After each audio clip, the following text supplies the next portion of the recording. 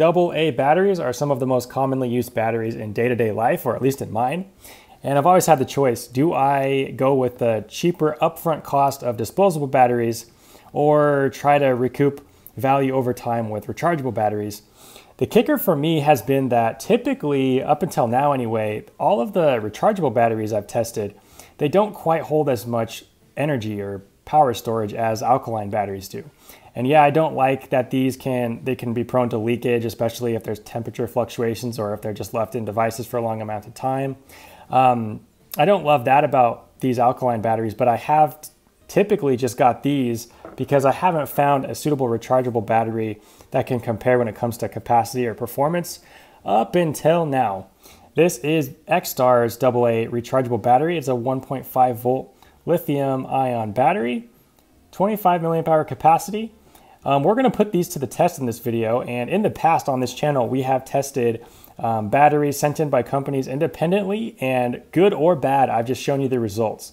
So pretty um, confident of XStar to send these to the channel for review.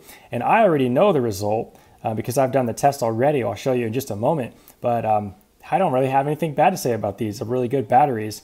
Um, so yeah, I can recommend these, but I'll let you see for yourself why I think that way. What we're gonna do in this video, I've got two identical Edison mini lanterns from Barebones. They take uh, two AA batteries in the bottom here. And in one of these lanterns, we're gonna put the disposable alkaline batteries.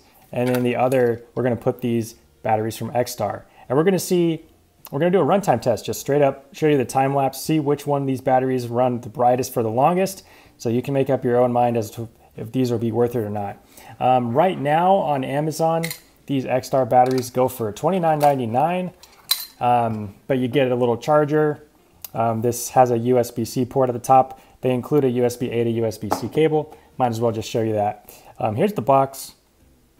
So yeah, got a pretty quick charge time. Uh, high claimed capacity, which we're about to test. And some more, a little look at the box here.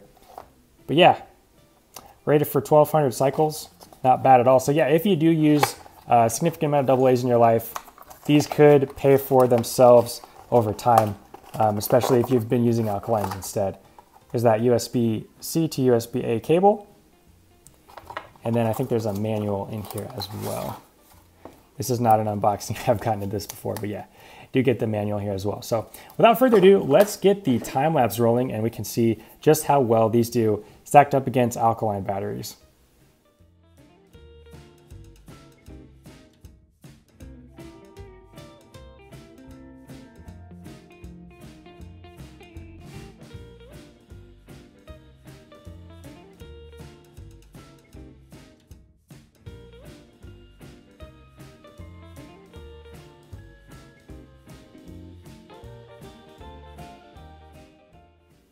Okay, the end of that runtime test happens really fast, so it's hard to tell what happened, but I'm gonna throw in some screenshots in a moment just so you can see.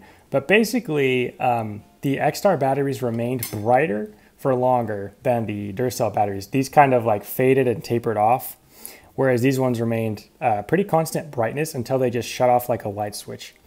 That is actually a very good thing because these batteries, they have what's called a BMS or a uh, battery management system.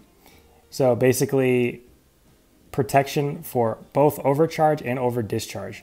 There's a little bit of, for lack of a better word, I think there's like a computer chip that just regulates the battery's charge and discharge at a certain voltage. Um, it can cut both of those off. So that protects the overall lifespan of this battery um, making it more reusable over time. So that's what we witnessed in the runtime test. It kind of looked like the Duracell won out, but in my opinion, it did not because it was it was fading into nothing. Whereas this one just shut off and it had that constant brightness throughout. Um, so yeah, very happy with how these performed. Um, one thing I did want to show you as well is just how this charger looks. Um, be remiss if I didn't show that, but basically get these LEDs at the top. You can see right here, um, these ones are now charging and these LEDs that are red up top will illuminate in green similar to over here when they are fully charged.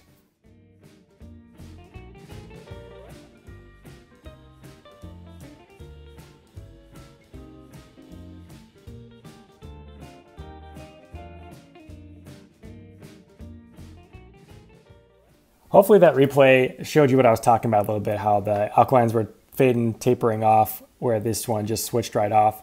Glad to see there is a rechargeable battery on the market that can go toe to toe with the alkalines in terms of uh, runtime or capacity.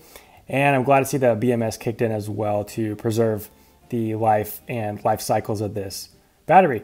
Really happy these are out there. Um, it's kind of been what I've been waiting for is in terms of rechargeable AA's because nothing I've tested yet has been able to go toe to toe just with the regular alkaline battery. But these do. Um, it's a can recommend for me as far as I'm concerned, but let me know your thoughts in the comments below. Is there a rechargeable battery that you like? What's your go-to?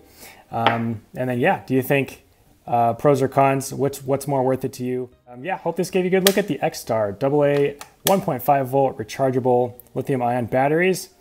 Uh, thanks for checking out the video, and I hope to see you in the next one. If you got value out of this or learned anything, please do hit the thumbs up for me. That helps me a lot. And subscribe if you like flashlight battery content moving forward. Take care. God bless you. See you next video. Bye.